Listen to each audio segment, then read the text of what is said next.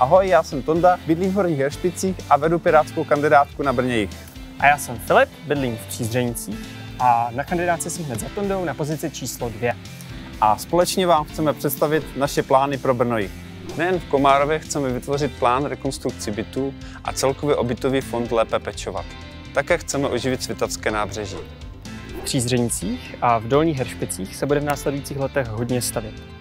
Výstavba nových bytů má naši podporu, ovšem pouze s kvalitní navaznou infrastrukturou a s trvalým dohledem nad plány developerů.